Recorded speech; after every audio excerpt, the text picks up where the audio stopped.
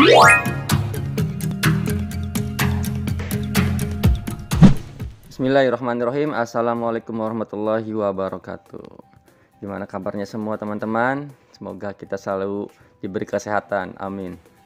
Dan seperti biasa kesempatan kali ini saya mau memberikan Atau sedikit kasih informasi atau trik pada aplikasi WhatsApp teman-teman. Nah kadang kita susah nih mau mengirim file yang kapasitasnya itu melebihi 100 MB sedangkan WhatsApp itu bisa mengirim kalau nggak salah ini di bawah 100 MB teman-teman. Khususnya para pelajar atau orang tua murid yang ingin mengirim tugas anaknya ke guru dan filenya itu besar sampai mencapai 100 MB lebih. Dan dikirim via WhatsApp itu gagal karena kapasitasnya terlalu besar. Dan sedikit tutorial dari saya ini semoga bisa membantu masalah teman-teman semua dan pertama kita coba buka aplikasi Google Drive. Nah, sebelum itu teman-teman harus punya akunnya dan mungkin semua juga sudah punya akun Google atau Gmail gitu ya. Dan terus jika sudah punya akunnya, teman-teman pilih file yang besar tersebut itu dikirim ke Google Drive terlebih dahulu teman-teman. Jadi kita upload filenya itu ke Google Drive dulu. Nah, jika sudah bakal seperti ini. Saya contohkan ini karena saya sudah upload ke Google Drive-nya. Saya contoh foto.zip ini. Dan ini filenya itu melebihi kapasitas dari pengiriman via WhatsApp, teman-teman. Nah, kita lihat dulu berapa ukurannya. Kita buka detail dan aktivitas. Nah, di sini bisa dilihat ukuran file ini 125,7 MB. Dan dikirim via WhatsApp itu selalu gagal, teman-teman, karena ukurannya terlalu besar. Terus bagaimana cara ngirimnya? Ya ini, kita upload dulu filenya ke Google Drive. Kemudian kita klik titik tiga ini jika sudah diupload ya teman-teman. Terus kita pilih sediakan online. Kita tunggu. Jika sudah kita titik tiga lagi.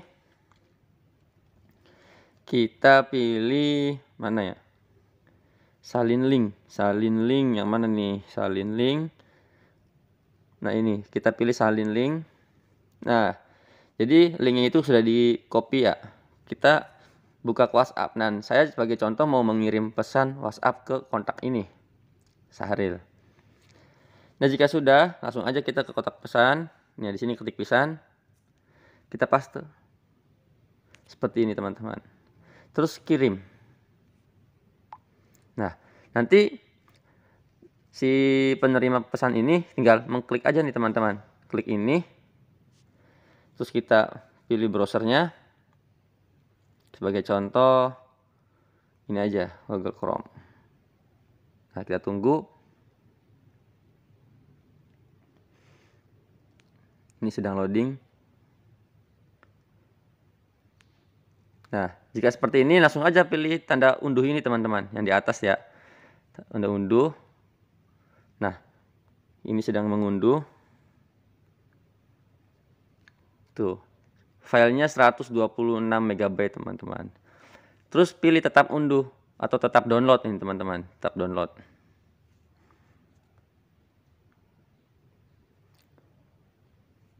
Nah, ini sudah bisa di-download ya tinggal pilih folder setelah teman-teman mau simpan di mana caranya seperti itu ya. Nah di sini karena saya sudah punya filenya jadi saya tidak mendownload. Dan mungkin tik dari saya ini sampai di sini dulu dan semoga bermanfaat dan yang belum paham bisa tinggalkan di kolom komentar. Jangan lupa di share untuk teman-teman yang belum tahu dan saya pamit undur diri. Wassalamualaikum warahmatullahi wabarakatuh